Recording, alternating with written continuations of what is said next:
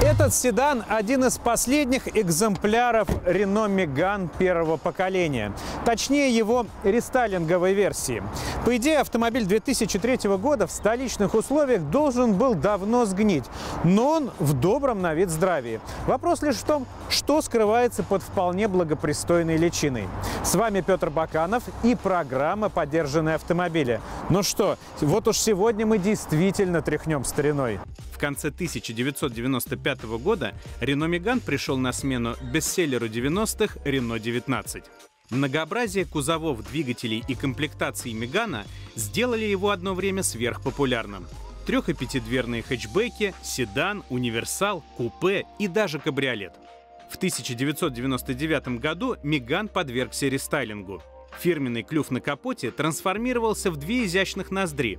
Также модернизировали и светотехнику. В 2001 году к бензиновым моторам 1.4, 1.6 и 2 литра добавился еще один объемом 1,8 литра. Появился и турбодизель объемом 1,9 литра.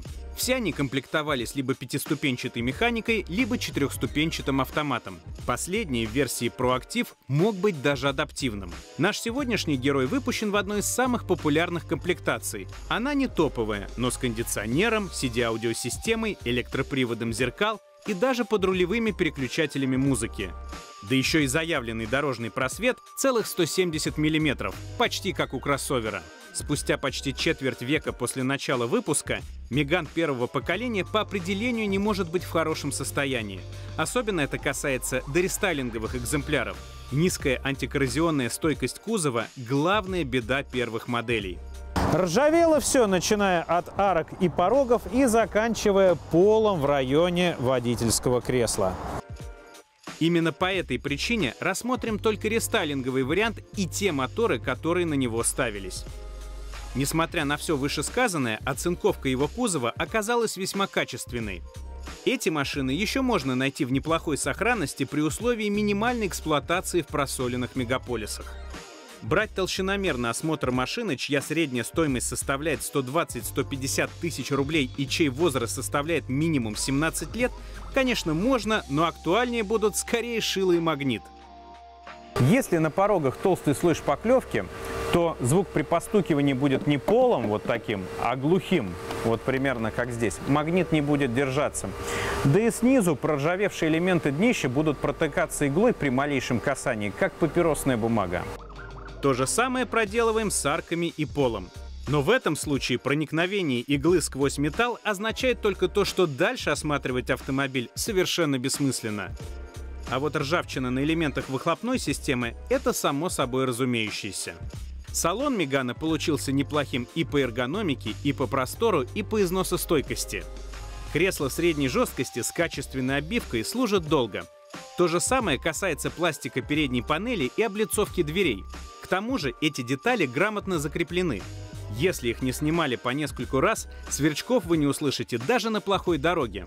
Из-за возраста подвести может лишь вентилятор системы отопления и кондиционирования. Также частенько отказывают передние электростеклоподъемники. Виной всему контакты на управляющих кнопках. Лечатся либо чисткой, либо заменой самих кнопок. На нашем экземпляре установлен 107-сильный бензиновый 16-клапанник К4М. Он довольно тяговитый и экономичный. Этот мотор с многоточечным впрыском пошел в серию с конца 90-х и за все время выпуска претерпел ряд модернизаций. Например, одна из его модификаций устанавливалась на Renault Logan, а поздние версии двигателя оснащались даже фазовращателями. На Меганы К4М стали устанавливать с 2000 года. На российском рынке этот мотор с конца 2002 года остался единственным в гамме. В целом данный двигатель неприхотливый, но при условии своевременной замены синтетического масла и фильтров.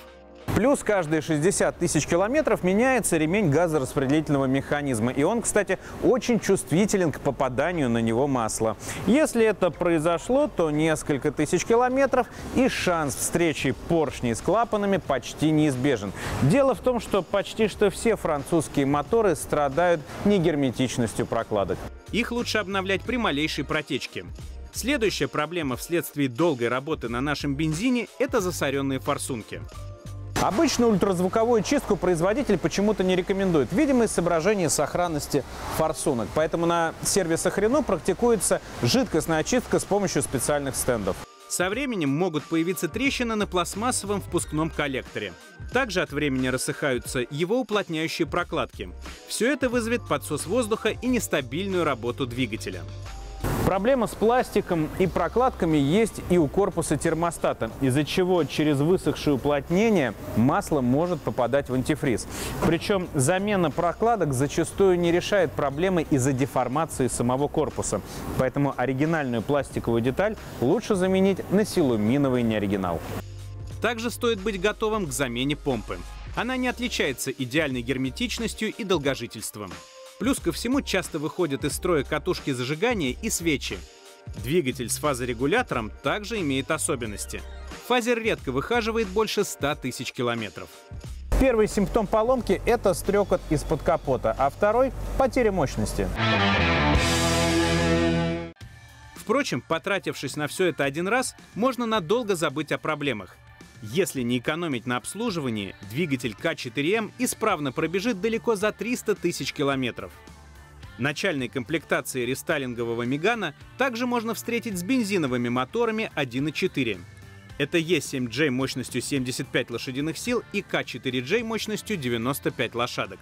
Первый двигатель восьмиклапанной серии Energy знакомый еще по Renault 19. Мотор предельно простой и надежный. Главное, что его можно гильзовать при полном износе поршневой группы.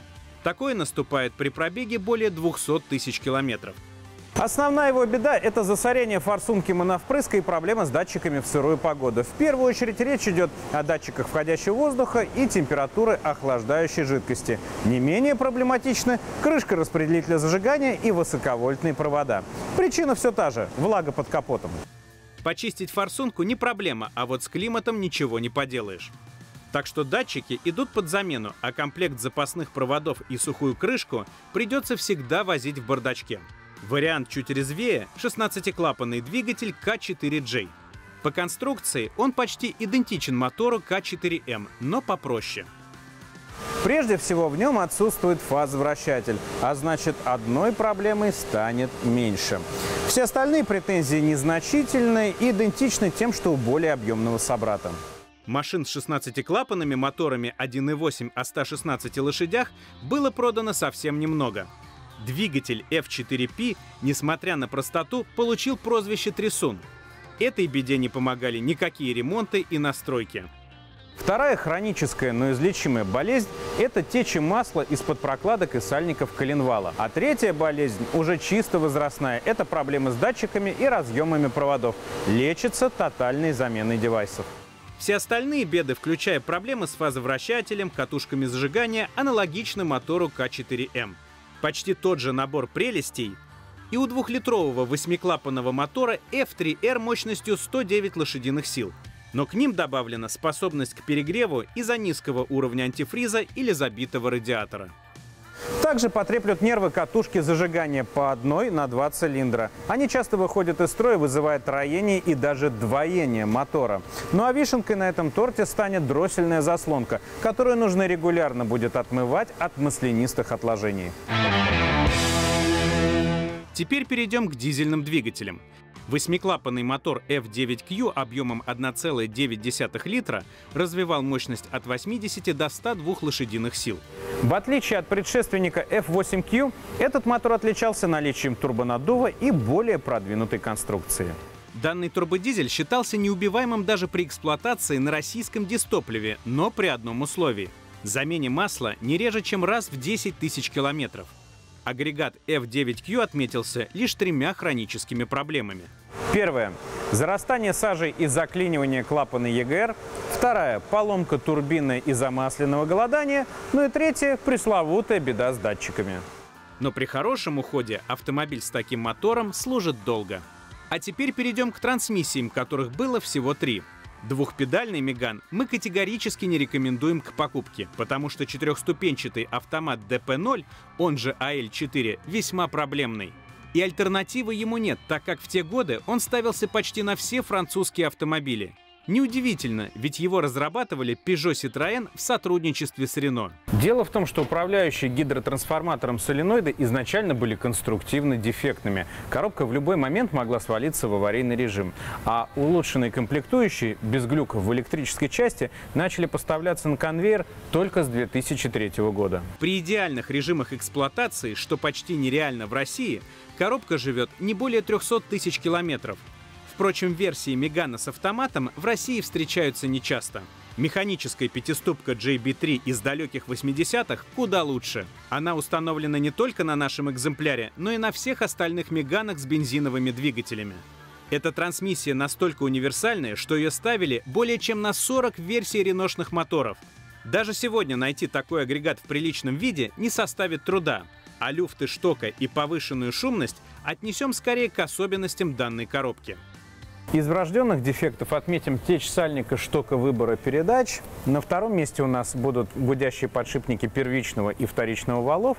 Ну и третье, наконец, самое неприятное и знакомое многим реноводам – это вылетающее стопорное кольцо дифференциала. Все это, конечно, неприятно, но излечимо, причем недорого.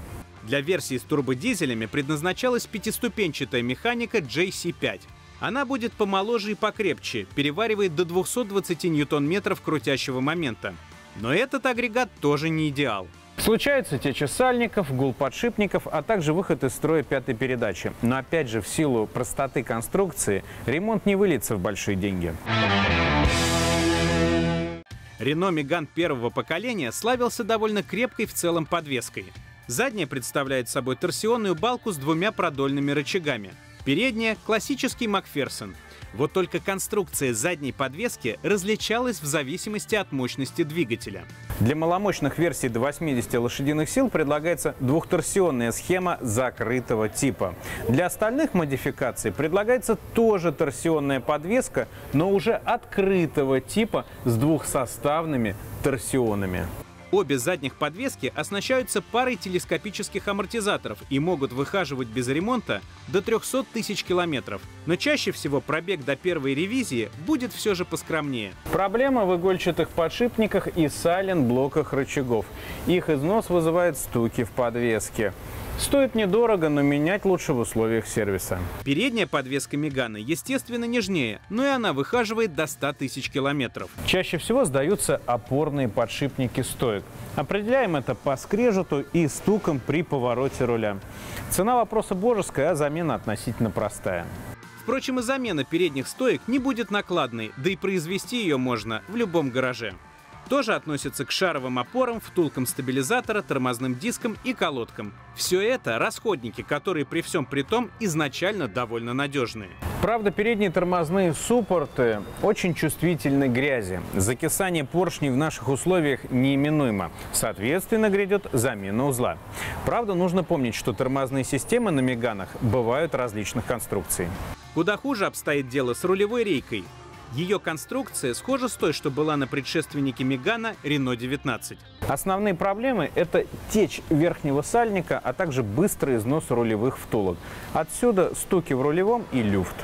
Бюджетный вариант – переборка рулевого механизма. Более дорогой и проверенный – замена. Но может оказаться и так, что ремонт при качественных запчастях получится выгоднее по всем статьям. Подведем итог. Даже при стоимости от 110 до 230 тысяч рублей покупка французского Renault Megane первого поколения равносильно русской рулетке, просто в силу возраста. К тому же сегодня найти оригинальные запчасти на столь возрастной автомобиль не очень легко. Они, конечно, остались, но в основном у специализированных ритейлеров, причем зачастую родные комплектующие могут стоить в 6-7 раз дороже неоригинала. Если вы все же решили стать владельцем Мегана первого поколения, то помните, что на машине должен быть особый стикер. Это так называемая сервисниками овальная табличка. Чаще всего ее крепят на средней стойке кузова с пассажирской стороны.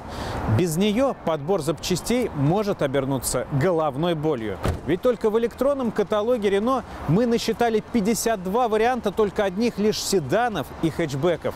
А ведь были еще универсалы, купе и даже кабриолеты. Это была программа «Поддержанные автомобили» и я ее ведущий Петр Баканов. И помните, главное сделать правильный выбор, поэтому выбирайте правильный автомобиль автомобиле вместе с нами. Желаю удачи!